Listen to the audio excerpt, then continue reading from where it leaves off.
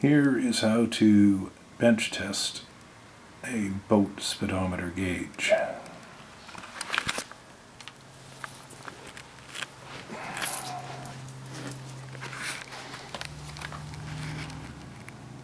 These operate by what's called a pitot tube, which is that tube right there that comes out. This one's been cut off.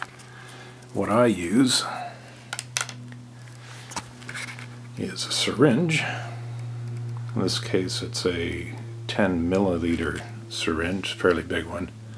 Take the end of the syringe, no needle of course, and insert it into the pitot tube. Then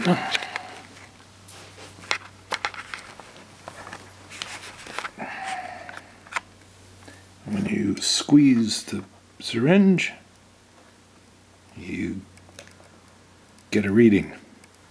That tells you the speedo works. Okay, thanks for watching.